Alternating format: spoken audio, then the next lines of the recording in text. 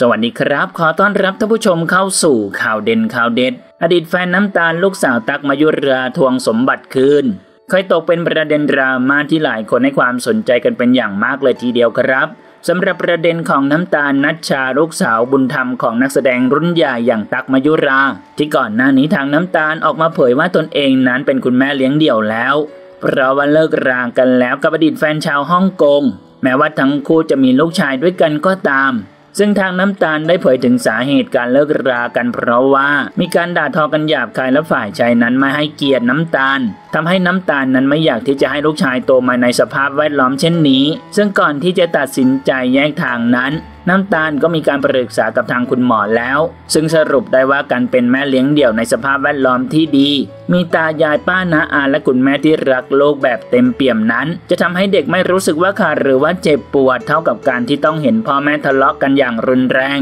แล้วหลังจากนั้นน้ำตาลก็ดูแลลูกชายโดยมีตั๊กคอยช่วยอีกแรงแต่ว่าถ้าหากใครที่ติดตามจะรู้ดีตั้งแต่ที่น้ำตาลเลิกกับแฟนที่เป็นพ่อของลูกชายไปนั้น ทางด้านของอดีตแฟนก็โพสต์ภาพตนเองกับลูกชายในช่วงเวลาที่เคยหยุดไว้กัน บางครั้งก็โพสต์ภาพลูกชายในท่าทางต่างๆ ซึ่งดูเหมือนว่าจะคิดถึงลูกชายมากๆเลยทีเดียวครับ จนล่าสุดทางด้านของอดีตแฟนน้ำตาล ได้โพสต์ทวงสมบัติคืนจากน้ำตาล โดยเป็นการทวงรถคืน ซึ่งได้เขียนข้อความในไอจีสอรี่ว่า คุณจะคืนรถของฉันได้เมื่อไรเชื่อในพระพุทธศาสนา คุณไม่รู้หรือว่าคุณไม่สามารถขโมยทรัพย์สินของคนอื่นได้ ซึ่งประเด็นนี้ทางน้ำตาลหรือว่าตักเอง ก็ยังไม่ได้ออกมาโต้กลับหรือว่าชี้แจงแต่อย่างใด ซึ่งสรุปแล้วเรื่องราวทั้งหมดจะจบลงอย่างไร คงจะต้องติดตามกันต่อไปครับ แต่ที่แน่ๆขอเป็นกำลังใจให้กับทุกๆฝ่ายด้วยนะครับ ขอให้ผ่านพ้นไปได้ด้วยดีครับท่านผู้ชมนะครับ มีความคิดเห็นอย่างไรกับเรื่องนี้ลองแสดงความคิดเห็นกันเข้ามาเดี๋ยวนะครับ